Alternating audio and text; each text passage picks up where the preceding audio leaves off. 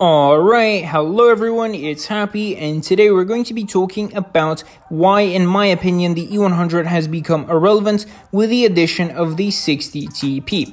Let's look at things from a proper perspective here, while the background video has uh, is just simply a 1 versus 1, me and the 60TP, and the E100 as my friend for entertainment purposes.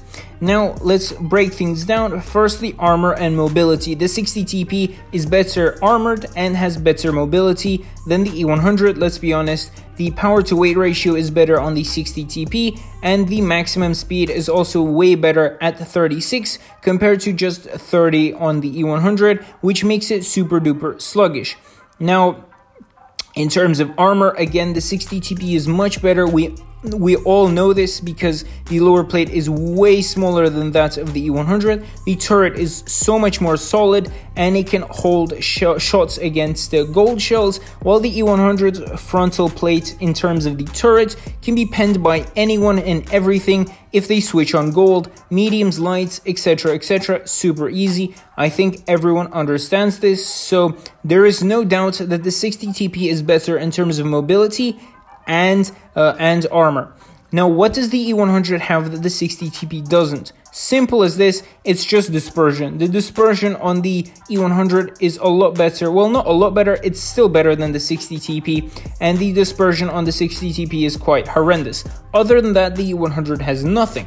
Even though on paper the DPM and the uh, the alpha is better on the E100, that's not true. That's not true. If you actually use both consumables, which are uh, the adrenaline thing, and if you turn on the new uh, consumable, which increases your alpha, you're going to have a DPM of 3500 plus on a heavy tank with a humongous alpha strike. Now this is very very strong, 690 per shot with the new consumable and a much faster reload time make the 60 TP super dangerous, especially in some situations.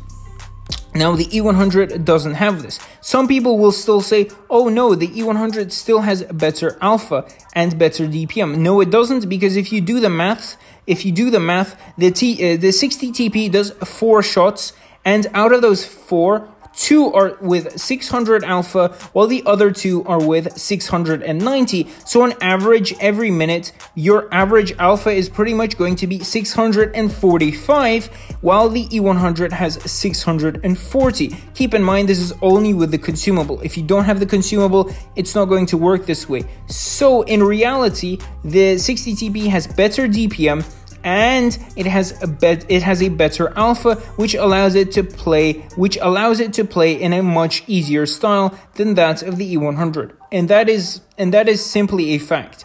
So overall the 60 TP is better than the E100 in everything except dispersion.